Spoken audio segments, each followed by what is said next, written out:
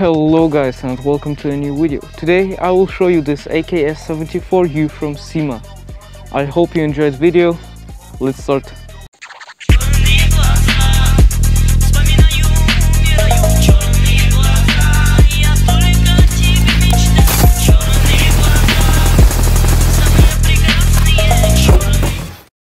Now the thing was made for tankers uh, in the Soviet-Afghan war and it's actually still used in the Chechen Special Force Soviet Terek. I really like this gun and I also like the real-life counterpart. Now you get pretty much all you need in this package of the CYMA. You get a speed loader, you get two magazines, one high cap and one is a mid cap. Then you also get a um, adjustment tool for uh, like the uh, front side and of course you get the gun.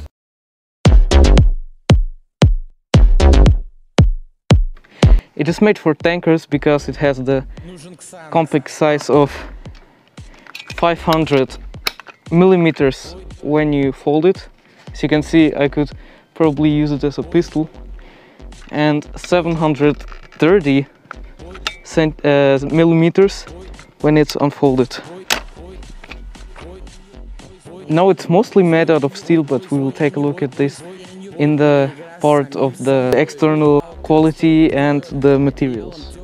It also has a standard version 3 CYMA gearbox. We'll see that in the disassembling.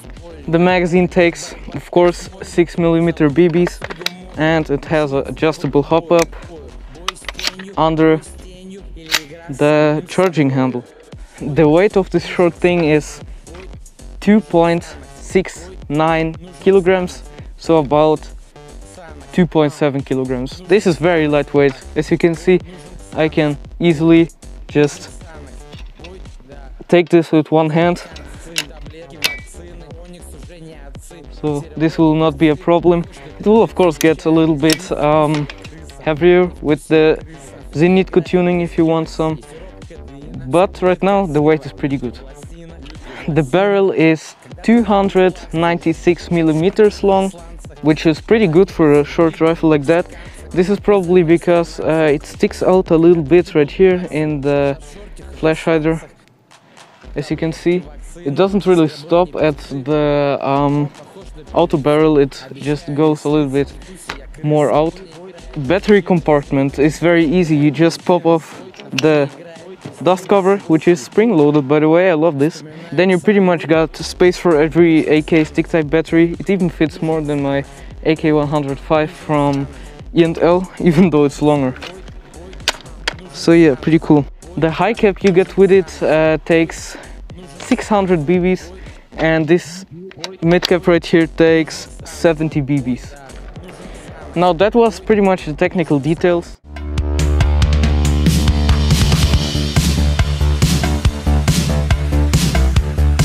Now let's come to the build quality and material parts. Let's start at the back. Right here on the back we have the normal triangle folder from the AKS. It is made out of steel, just completely made out of steel. Also the sling mount is out of steel right here. Now the next thing is uh, just really the whole receiver.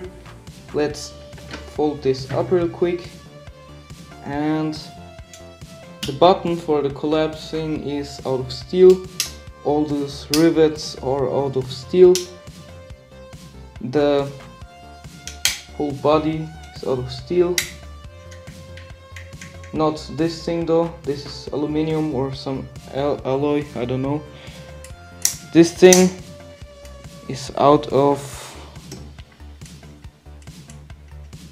I think it's some kind of steel because it's a little bit magnetic and the release button for the dust cover is out of some other metal.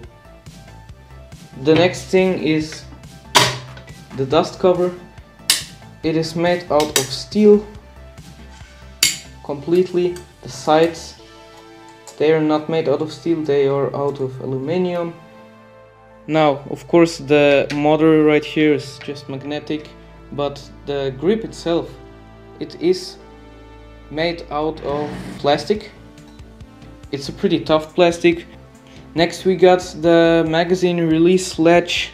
It is completely made out of steel right here. Like this whole part, it is made out of steel. Then the trigger itself is not made out of steel. The trigger uh, guard, it is out of steel. The handguard is of course out of wood as you can see. The color is pretty beautiful in my opinion. Those holders for it, they are out of steel. On the back, just like on the front. No, the, the bottom one is not out of steel for some reason. Then this little spring inside here, which I will show you in the disassembly, it is out of steel. Then we got the um, gas tube. It's out of it's out of steel. Yep, it's out of steel, but not the side. The side is out of some kind of alloy. Then the barrel is also not out of steel. You can say this whole part right here, it's not out of steel. This is some kind of alloy. Then we got the flash hider, all out of uh, steel. So all in all, for the price of like $100 or a little bit above, you get steel, good build quality, a nice magazine.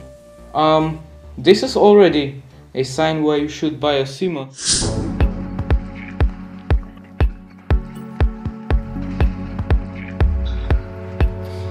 Now let's start with the disassembling. First of all, you have to get out the magazine, of course, to just do anything.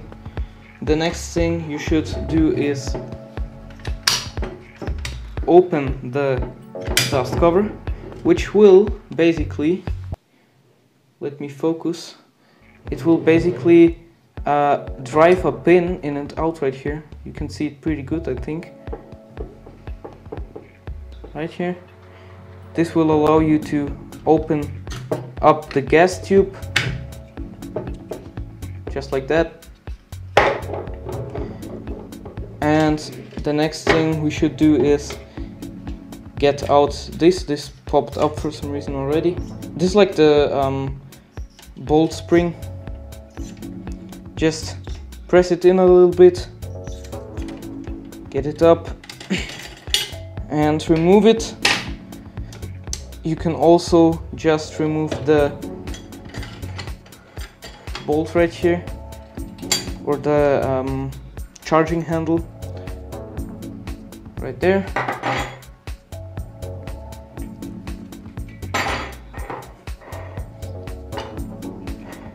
Then, then the next thing you should do is um, you got a little like it's a latch. Should fold it to this side, and the spring will already push it out.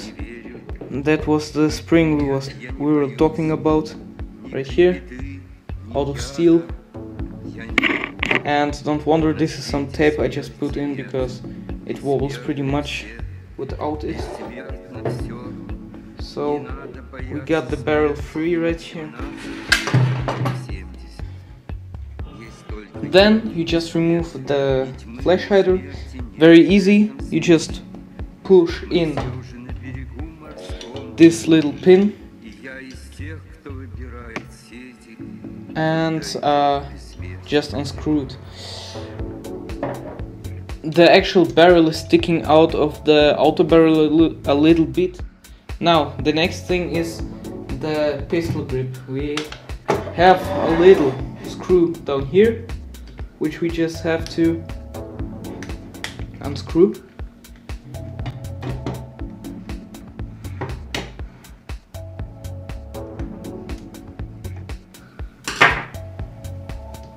when it's unscrewed you take out the little screw and slide off the pistol grip now you can see the motor very standard um, CYMA motor. Now the next thing is uh, you take a screwdriver and remove that fake rivet. That's actually just okay. It flew away. That's not bad.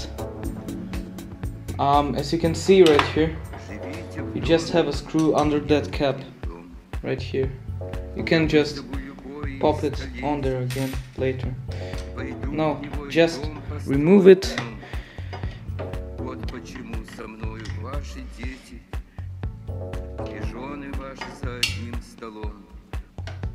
А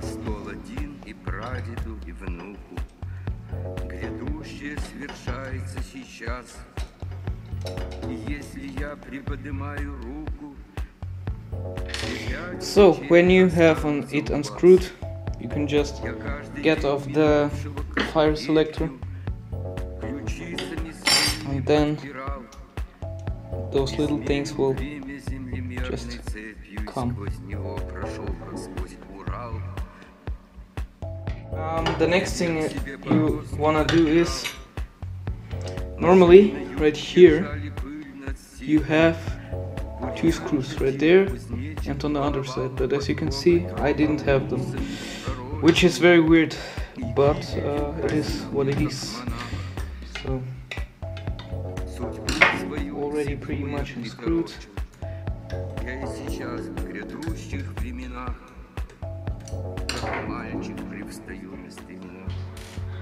Here we go. And the next thing is uh, to remove the spacer right here just for the it's just a magazine spacer like on the E and L's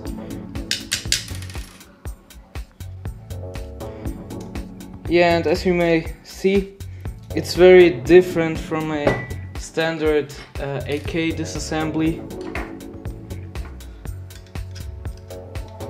Get this out right here of course the tape sticks right here. Now the next thing you're gonna wanna do is get out um, this pin. You just gotta just gotta give it a good um, tap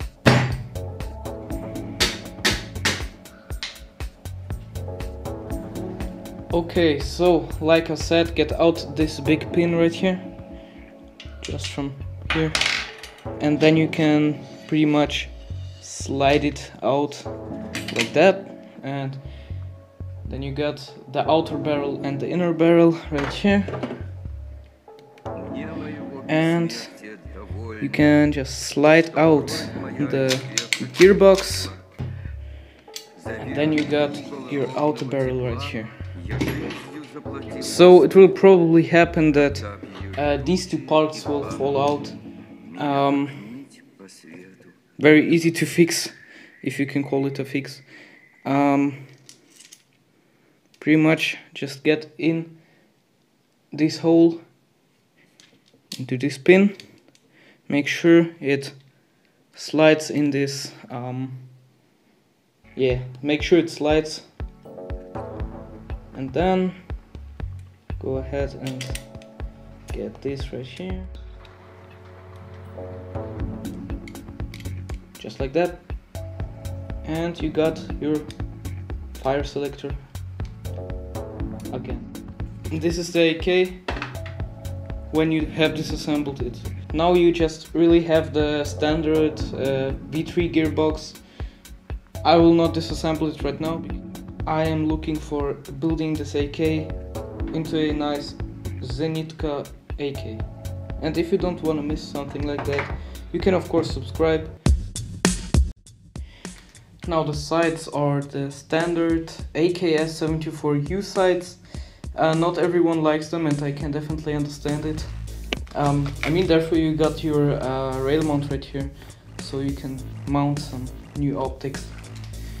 Now you got that little tool to adjust the front side in height and that was pretty much it. Now I will show you how the side looks.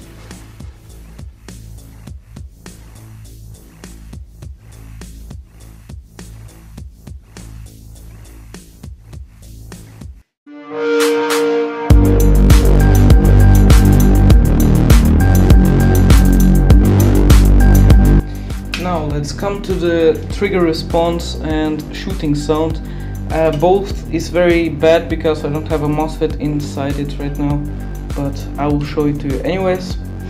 Uh, and I can't really shoot uh, full auto right now because uh, I can't really shoot semi auto right now because um, the battery is very strong and um, the energy is too low. Now I'll show you. Now we do semi-auto. As you can hear, it shoots burst pretty much. But yeah, uh, that was the trigger response test.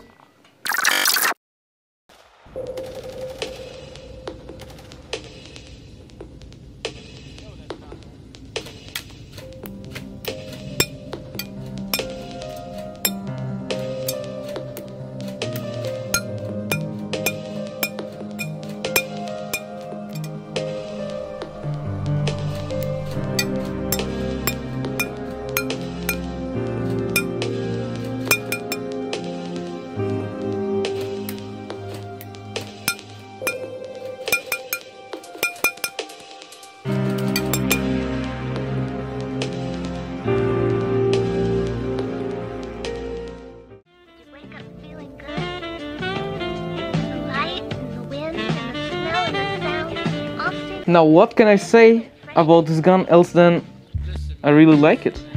I can say you don't always have to buy the more expensive stuff to get happy.